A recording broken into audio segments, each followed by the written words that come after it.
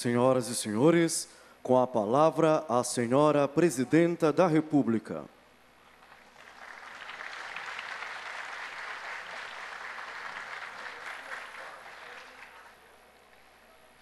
Bom dia a todos. Eu queria iniciar cumprimentando a governadora Rosiana Sarney, nossa governadora do Maranhão.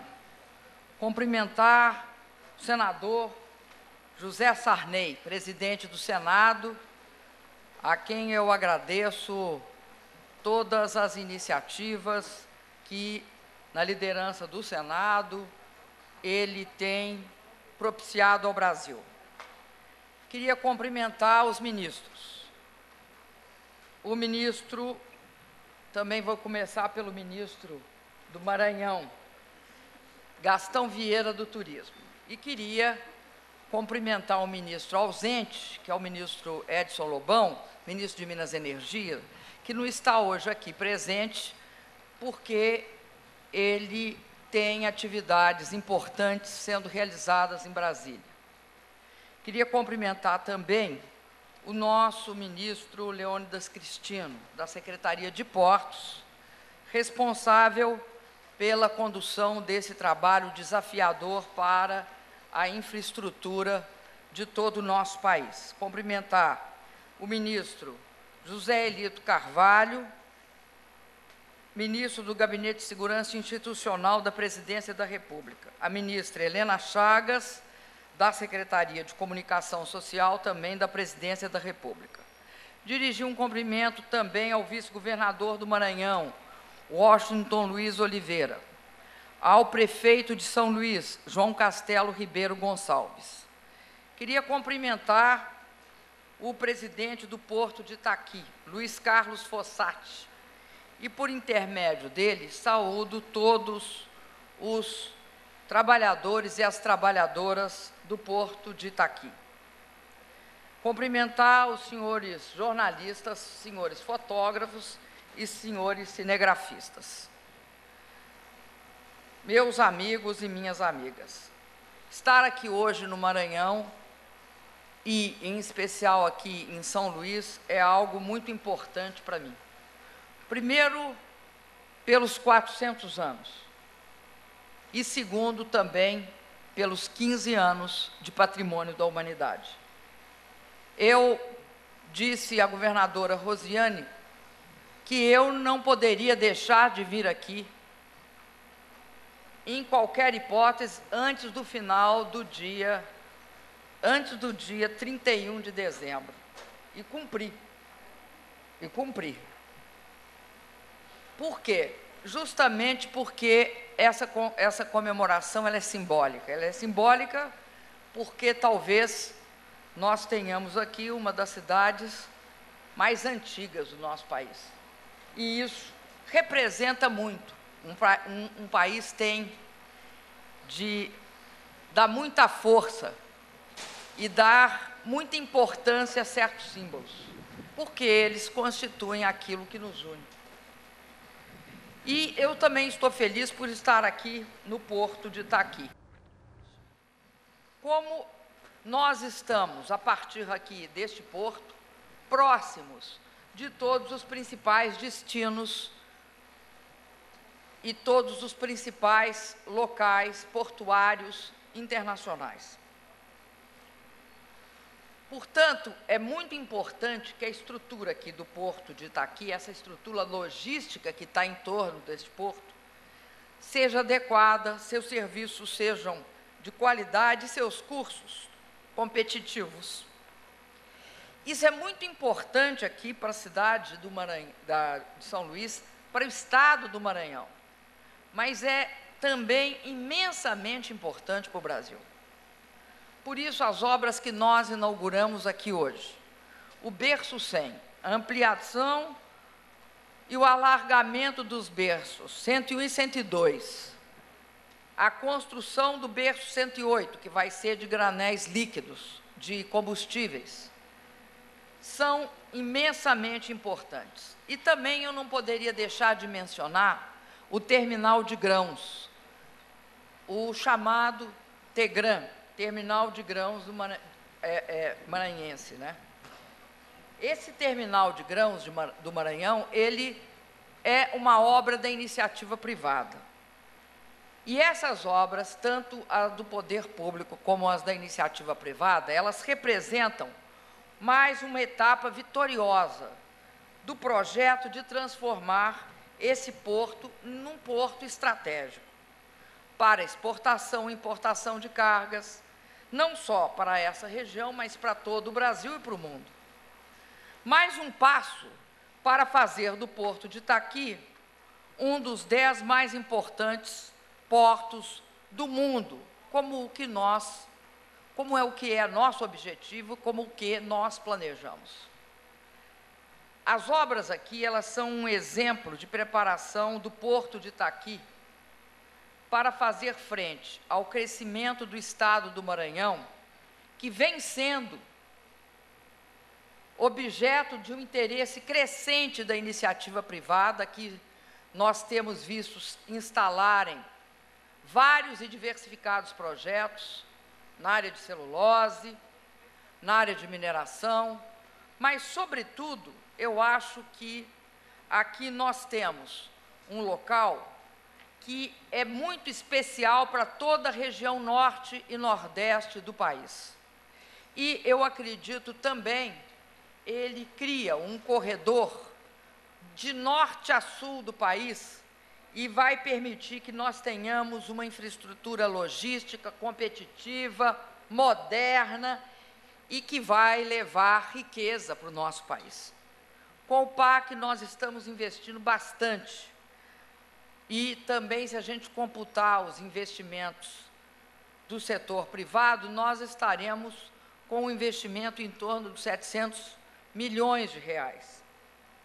E, para nós, para nossa concepção, essa parceria entre o Estado do Maranhão, o governo federal e a iniciativa privada é uma alavanca para que nós possamos construir um país mais desenvolvido e um estado do Maranhão mais desenvolvido. Os investimentos públicos e privados, os investimentos, eles são a chave para o nosso crescimento sustentável pois essa parceria entre o público e o privado amplia a nossa capacidade, amplia a nossa capacidade de produzir, de escoar, de exportar, de importar também. Traz inovação, traz eficiência, gera emprego, gera renda para brasileiros e brasileiras, para nortistas, para nordestinos, para os cidadãos e as cidadãs de, do Maranhão. As obras que nós inauguramos hoje, elas demandaram em torno de mais de 150 milhões de reais, que serão e são, algumas ainda estão em andamento, outras já foram concluídas, em parceria entre o governo estadual e o federal. O esforço e a engenhosidade dos maranhenses deve ser reconhecido. Deve ser reconhecido também o apoio do governo federal, construindo essa parceria, que é uma parceria republicana e federativa, e que tá, está transformando o porto de Itaqui. Isso é muito bom para o Maranhão, mas eu quero aqui reconhecer de público que isso é fundamental para o Brasil. Para um país continental como o nosso, dispor aqui, nessa região, neste lugar, nessa espécie de esquina do Brasil, dispor de um porto moderno e eficiente, contribui para que lá, no centro-oeste, lá na região do sudeste e até no sul, se expandam as nossas fronteiras agrícolas e especificamente cria uma zona de crescimento aqui nessa região do Nordeste e do Centro-Norte do país, permitindo que se construa não só uma infraestrutura logística, mas também que se atraiam para essas regiões do país que é o nosso chamado Brasil Profundo, investimentos, melhoria de renda, melhoria de emprego para a nossa população. E elas são, essa obra aqui, o berço 100, o 101, o 102, o, o 108, o Tegran, enfim, todas as obras que estão sendo programadas aqui, elas fazem parte do esforço do nosso país de superar o desafio de aprimorar a infraestrutura de transporte do nosso país. E como disse, repito mais uma vez o Fossato, elas integram esse desafio imenso do Brasil em busca da competitividade. Da competitividade de nossos produtos e a gente tem sempre de saber que competitividade também vai estar sempre ligada à questão da qualidade de vida da nossa população. O Maranhão, com esse porto, oferece uma contribuição decisiva para o Brasil e para a melhoria da nossa logística. Porque os portos são um dos elos principais da cadeia logística. Tem um porto aqui, viabiliza ferrovias, viabiliza rodovias, viabiliza a localização de indústrias, porque desse porto tanto através de cabotagem para o Brasil, para o resto do Brasil, como através de grandes estruturas de transporte interoceânicas, nós chegamos ao mundo e ao nosso país. E nós sabemos que a retomada, que a expansão do crescimento econômico do nosso país vai impor, e eu conto com esta empresa aqui, vai impor desafios para o setor portuário. E eu conto com essa empresa, porque nós vamos precisar de sistematicamente planejar. E gostei muito de ver a questão do planejamento de longo prazo, essa visão até 2030. Nós temos de planejar para expandir a nossa capacidade, para prestar serviços de qualidade aqui para desburocratizar procedimentos e impediram que as pessoas tenham de correr em vários guichês para conseguir exportar a sua carga. Reduzir custos e elevar a eficiência tanto dessa prestação como o profissionalismo da gestão do porto. Por isso, meus queridos amigos e amigas aqui presentes, eu já disse a vocês que o Brasil precisa de uma estrutura logística e dando prosseguimento ao grande esforço do governo no sentido de investir em infraestrutura como sendo um dos elementos principais de manter os níveis de investimento em nosso país, nós já fizemos rodovias e ferrovias.